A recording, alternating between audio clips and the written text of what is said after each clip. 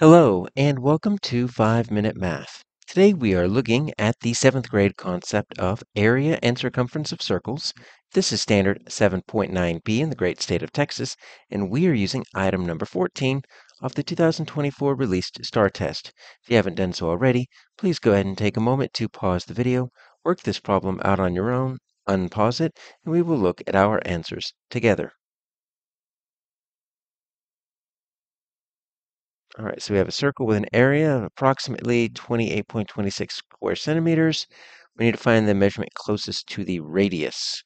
All right, so let's draw just so we kind of have a general idea of what we're talking about. So let's pretend this is our circle, right? We've got a few different things that we can measure for the circle. So the circumference,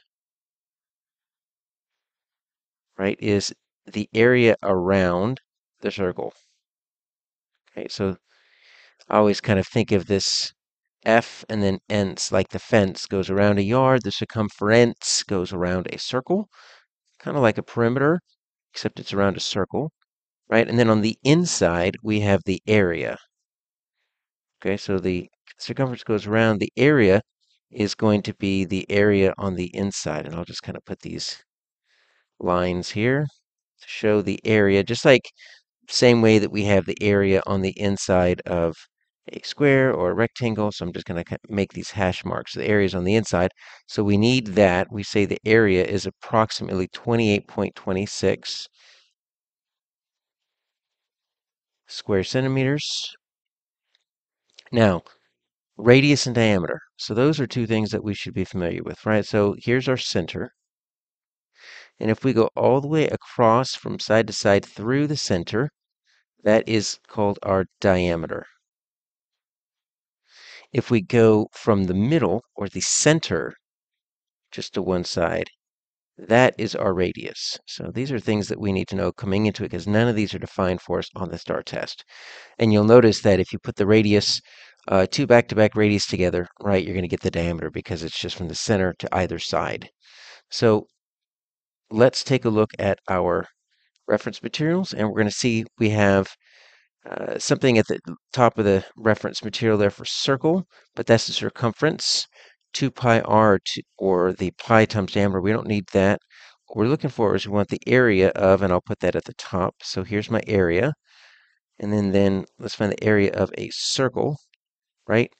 Pi r squared. So that is the formula that we could use. So let's put that A equals,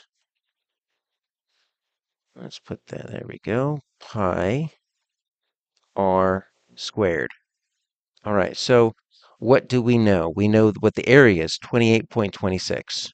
All right, so I'm going to substitute that in. So if A equals 28.26, so I can just substitute that in here and I can say 28.26 equals pi r squared. And we are looking for the measurement that is closest to the radius. So we're looking for that radius right there. So I need to isolate that radius. Well, I would need to divide both sides by pi. We don't have a calculator here, but if we divide both sides by pi, right, what are we going to get? Well, let's say pi is about, you know, pi is about 3.14. So if I did 28 divided by 3.14, right, sometimes what we'll do is we'll substitute a really close approximation for pi is, is 3, right? So if I make that 3, what I'm kind of seeing here is the closest multiple of 3 to the 28.26 is 27.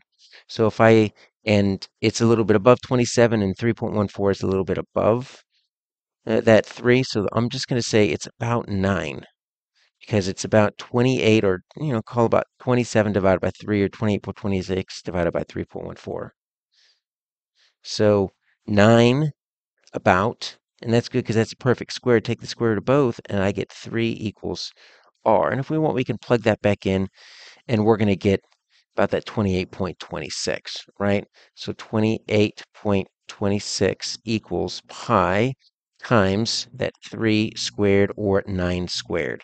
So our answer here is A.